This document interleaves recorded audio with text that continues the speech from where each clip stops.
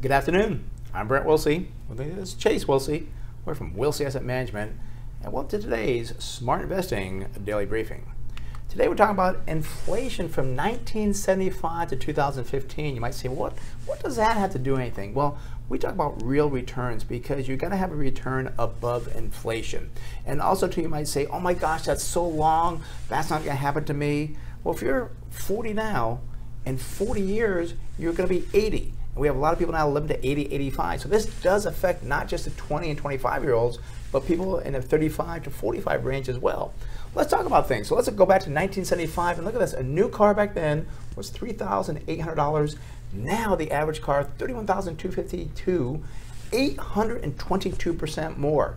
Look at just the, the cost of bread, just buying bread to eat, 28 cents back then, now $1.43, an increase of 500 and 11% on the price of bread. You know, I think this just really shows how important it is to still invest in retirement. A lot of times people get to retirement and they say, okay, I'm done, I made it. And again, I, I know this is not the you know most likely scenario, but if you retire at 65, there is still a chance you could live 40 years to 105.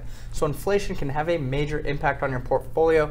Not to get too off track yes. here, but let's take a look at the new homes. Uh, 1975, they're worth $48,000. Today, $270,000 increase of 560% and talking about making that real return the return above inflation the S&P 500 was at 73 it is now at 2150 an increase of 2960% that is a real return right there. Yes. And a good place to find a real and return. nothing performs better than this here. The, the thing is, people get too short-sighted and sell too quick, as opposed to looking at the long term, as opposed to one year, look at 5, 10, 15, 20 years. Best long-term investment. Again, it shows this time and time again. I do want to point out, too, this is for uh, nationwide, not just California. So people say, oh, California can buy a house for 270.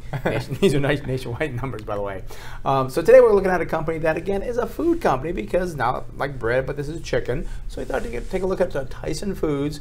Current price 73.50 the high 74.86, the low 39.05. Again, going back to 2012, you see it was way down to under $20 a share. Come up quite a bit to about 74. Let's see if it's still a buy now or not.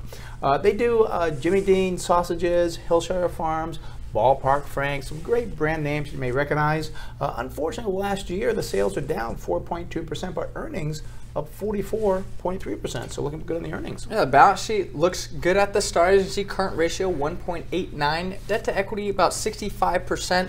Now this is the problem. I wanted to buy this company actually back in early 2015 when they were having problems with the bird flu. But the thing that held us back no tangible book value, so unfortunately we didn't buy the company. Uh, getting the target sell price though going out to September 2017 Estimated earnings per share on a GAAP basis are $4.56, giving say target sell price of $75.24, so about right at that 52-week high current price area. Right, and the reason why I didn't buy it, because if you don't understand what's going on with it, we couldn't get a value of what the real value was of these intangible assets, we decided not to buy it even though it was a good buy, would look pretty good. If you don't understand something, we won't buy it. You shouldn't either. I'd rather have this happen than buy something like, oop, went down. We should have done that. So, well, uh, with that said, I hope you enjoyed this edition of the Smart Investing Daily Briefing. If you'd like to get the report on the five big mistakes investors uh, receive, it is free. Uh, give us a call at the office. Our phone number is 858 546 4306. And if you've missed any previous Smart Investing Daily Briefings, go to our website smartinvesting2000.com